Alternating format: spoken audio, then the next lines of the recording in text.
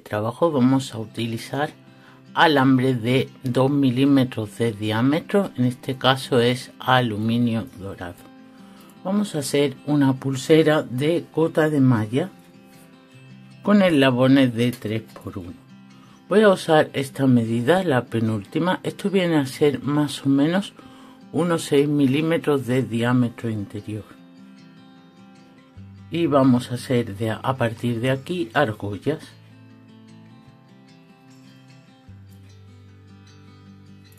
Cuando lleguemos aquí al tope, bajamos hacia abajo y continuamos enrollando.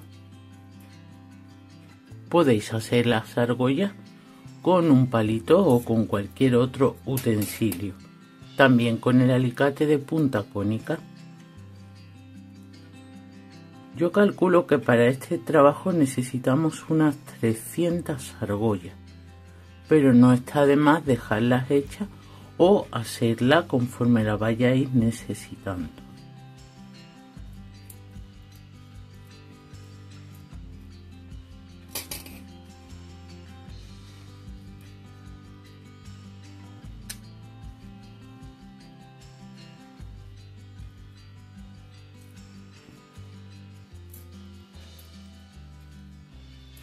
Bueno, yo creo que ya va siendo ahí un tramo suficiente. Aquí ya me vale. Ahora vamos a ir cortándolas.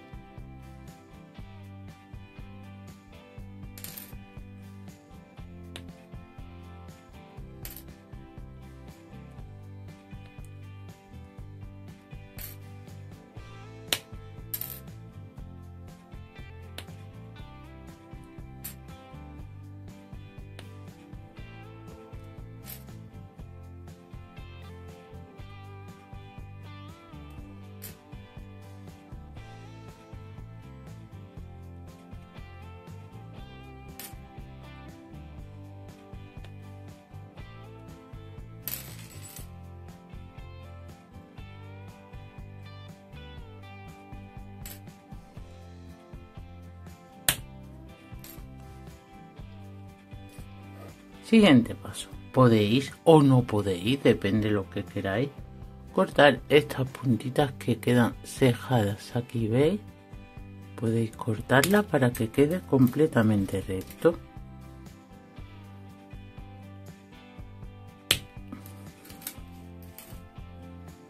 Ya tenemos eh, las argollas que van a quedar más derechas. De la otra manera también queda bien y habría que estrujarla, pero está muy bien para hacer réplicas de antigüedades. A mí me gustan también cortadas, cejadas, depende para lo que vaya a hacer.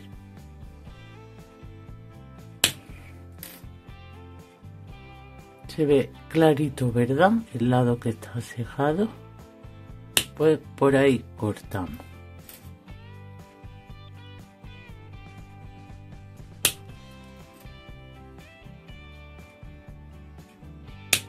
Más rápido porque muchos desaparecen, ¿eh?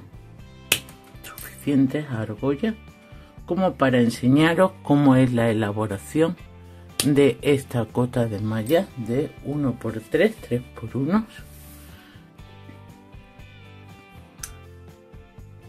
Vamos a ir cerrando ya argollas y colocándola en su sitio. La cerramos bien ajustadita. Podéis hacer este mismo trabajo con cobre de un milímetro con dos, un milímetro y medio, incluso de un milímetro. También queda muy bien. Si tenéis mucha fuerza podéis usar dos en cobre, pero también os digo que la pieza va a pesar si hacéis eso, ¿eh? 2 milímetros de cobre va a ser que pese mucho la pieza. Pero ya os digo que podéis usar un milímetro, uno con dos, incluso uno cinco. Ya depende también de la fuerza que tenga cada uno. Yo en mi caso no podría realizar esto con cobre de 2 milímetros ya sabéis y aprovecho que tengo eh, ahora mismo el mes de las enfermedades raras que el 28 de febrero es el día para la visibilidad de las enfermedades raras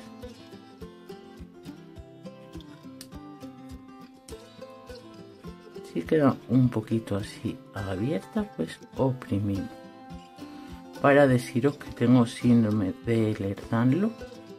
Hay 11 tipos, de los cuales me han analizado solo 3 y han dado positivo. Es una prueba de sangre, la prueba genética. Ya sé que hay algunos con enfermedades raras, os preguntéis si os van a torturar para hacer la prueba genética. No, no os van a torturar, ¿eh? solo os sacan sangre. Y si no lo hacen, pues hay que reclamar y reclamar, como tuve yo que estar reclamando. Y a mí me dio positivo en los dos tipos que me miraron. El tercero no es necesario porque es obvio. Entonces, una argolla y dos. Primero una argolla y luego dos. Aquí cerramos bien. Este va a ser el inicio de la pulsera lo importante aquí es cerrar de forma cuidadosa nada más. Con que la junta se vea cerradita es suficiente. Por eso tiene que estar muy derecho. Bueno, pues aquí tenemos dos argollas, ¿veis? Una y dos. Vamos a desplazarla así un poquito, ¿eh? Un poquito aquí. Y vamos a unir esta con esta así desplazada de forma escalonada. O sea la argolla va a ir aquí. Vamos a abrir una argolla. Ya sabéis aquí tenemos una en el dedo veis montamos así de este modo y enganchamos la argolla aquí uniendo estas dos en forma escalonada. Ya podemos aquí cerrar. Tener cuidado con el grosor, eh, o sea, con el diámetro que le dais a las argollas, ¿eh? Porque puede ser que no quepan ahí las dos. Bueno. ¿Qué tenemos que hacer? A continuación, pues colocar otra argolla aquí. Esta es la del inicio, estas las dos. Yo las he escalonado y las he unido con una por el centro para que queden en forma de escalón. Así que la siguiente iría aquí. La voy a abrir un poquito. No quiero quitarlo de la mano para que no os perdáis, ¿eh? la abro aquí un poquito y ensarto aquí las dos que van escalonadas y este es el sistema que vamos a estar realizando es una cota de malla que si hacéis muchas tiras y la unís pues podéis hacer una camiseta por ejemplo yo creo que lo estáis viendo bien de cerca de hecho por eso estoy usando un alambre más grueso porque quiero que lo veáis con detenimiento porque es más fácil de lo que parece. Bueno, pues ya tenemos aquí tres eslabones. Uno lleva una argolla, el otro tres, que una de ellas va cruzada, y el siguiente uno. Continuamos.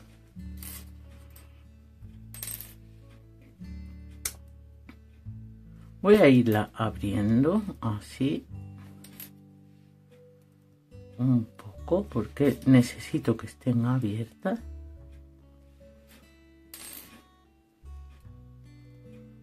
Así. Y a medida que la abrimos, como le hemos cortado el pico, ha quedado mucho distancia, pues empujamos. Empujamos hacia aquí para que quede más cerrada. Empujamos hacia ahí. Aquí que toca, bueno, pues de nuevo dos argollas. Una.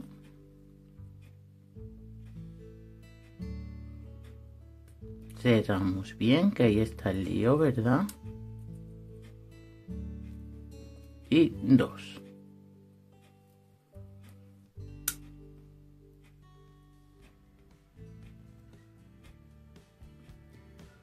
Ya una vez las puntas cerraditas, la observamos bien también de lado y continuamos haciendo lo mismo. Fijaos. Fijaos que esta, la de abajo, monta encima. Monta encima, la que mira hacia mí, monta encima de la que va hacia el otro lado. Así que tienen que estar de la misma manera montadas. Esta forma un escalón hacia el exterior. Pues ya sabemos que tenemos que poner aquí la argolla para que quede así en forma de escalón. Y ya aquí podemos cerrar también.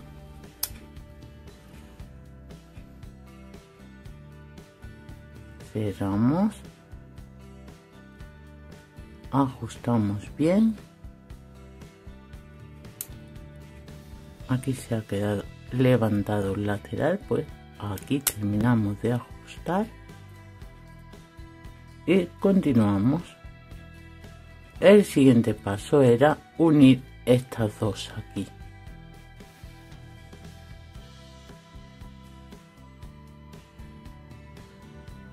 Y de camino ya le vamos a poner las dos argollas siguientes. Para eso las tenemos aquí cerraditas verdad se la vamos a poner ya. Y cerramos. Es muy fácil esto es cuestión de lógica y de tomarlo con calma. Yo os aconsejo que de vez en cuando lo pongáis así encima de la mesa para ver si está todo en orden. La que está más cerca de mí monta encima de la que va hacia el exterior. Luego esta sería la postura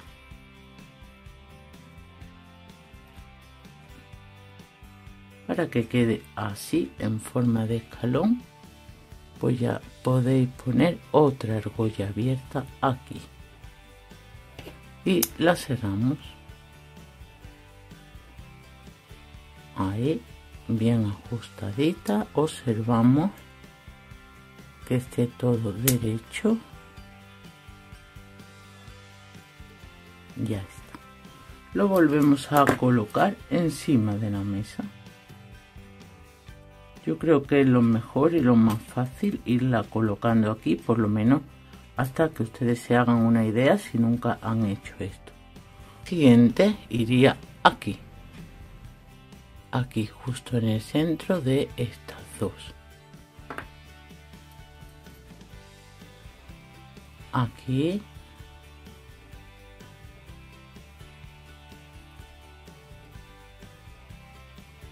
ya que tenemos aquí dos cerraditas pues la vamos a colocar también.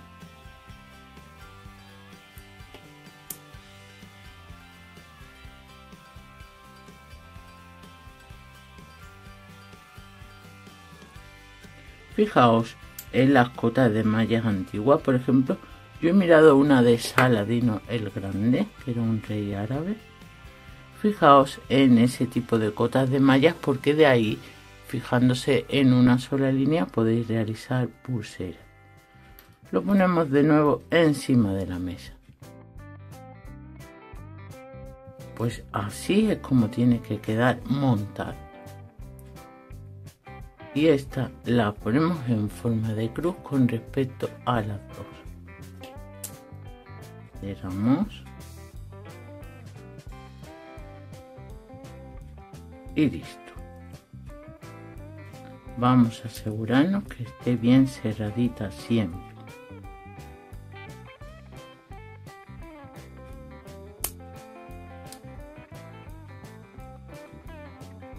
Listo. Pues esta va hacia al lateral.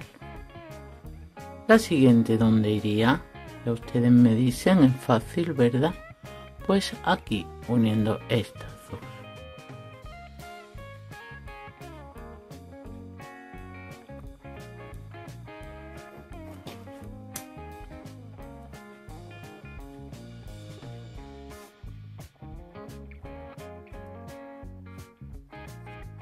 Podéis hacer esta misma pieza en color plata de aluminio.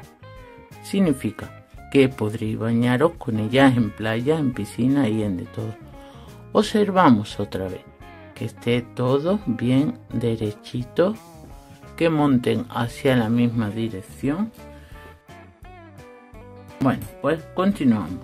Vamos a fijarnos bien en cómo está montada la pulsera. ¿Veis? Luego aquí irían dos argollas que vamos a colocar ahora mismo.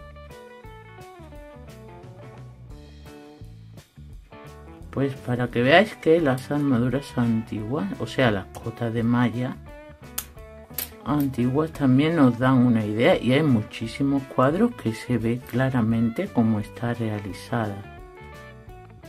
Cuadros de guerreros antiguos, de reyes y demás.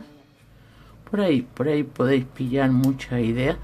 Yo siempre os digo que eh, cuando vayáis a hacer diseños, pues si, tenéis que inspiraros en algo, acudáis siempre a la arqueología. Fijaos, abro y empujo, porque ese trocito que ha perdido de cortarle el ceje, pues tiene que quedar así. Vamos a poner aquí la pulsera aquí encima. De nuevo, ya sabéis que esta del exterior tiene que montar encima de la otra, siempre igual. Pues aquí ponemos la argolla para que se quede así montada. Ajustamos bien, nos fijamos que todo esté derechito y listo. Volvemos a ponerla aquí. La siguiente pues va a ir aquí. Uniendo esta que he puesto no sino las otras dos de abajo. Aquí.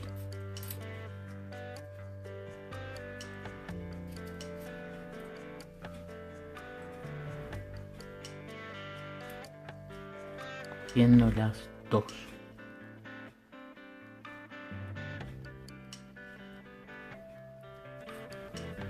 aquí queda un poco escalonado pues lo ajustamos bien y ya queda bien cerrado y como veis si lo hacéis igual pues va quedando todo igual cierto voy a poner algunas más aquí. Habría que poner dos. Que hay una pues aquí dos. Y la tercera que forma una cruz con respecto a las otras dos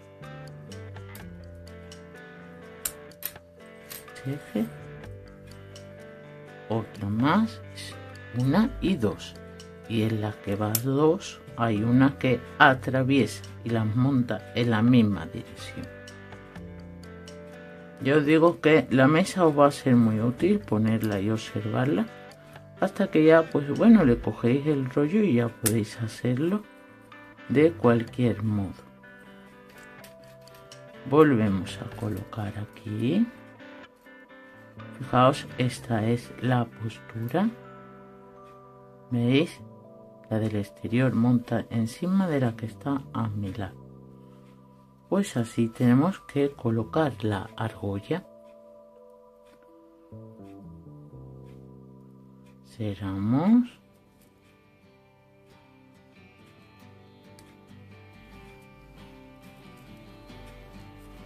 Y ya os digo que podéis comprarla, ¿no? Yo creo que bueno, como van quedando restos de alambre, pues está bien, pues podéis hacerlo de restos de alambre. Bueno, ya está colocada aquí, pues nos queda aquí en esta unión colocar la siguiente.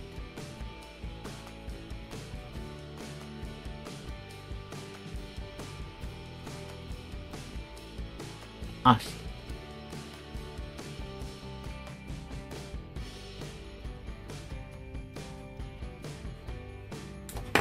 Y ahora vamos a comprobar que estén todas montadas en la misma dirección. Y yo voy a continuar haciendo lo mismo.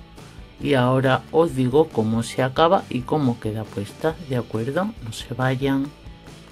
¿Qué nos queda de colocar? Bueno, pues el cierre, así de fácil y ya va a estar terminado. Vamos a cortar esta parte así derechita, poquito inclinada porque va a ir redondeada. Y realizamos el cierre para acabar ya esta pieza.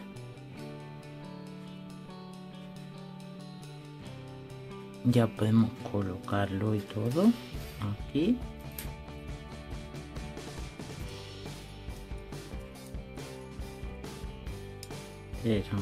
bien.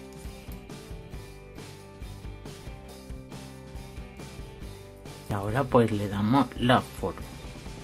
Normalmente cortamos unos 3 centímetros, ¿verdad? Para el cierre. Pero bueno, eso es algo irrelevante. Yo lo estoy haciendo desde el mismo rollo y también está bien. Porque como este va a llevar la punta doblada, pues quizás mida un pelín más y aquí pues puedo doblar la puntita o dejarla así yo prefiero doblarla siempre que sea posible pero con este alambre realmente no sería necesario. Cortamos y listo. Y vamos a cerrar aquí la punta. Simplemente es para que no clave para que no se enganche. Vemos cómo queda colocada.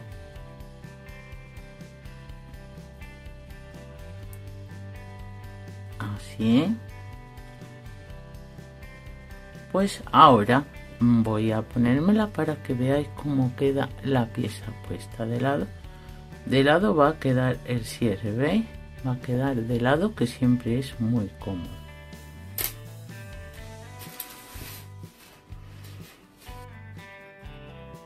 pues así es como queda puesta nuestra pulsera de malla de 3x2 me refiero a la cantidad de argollas ¿eh?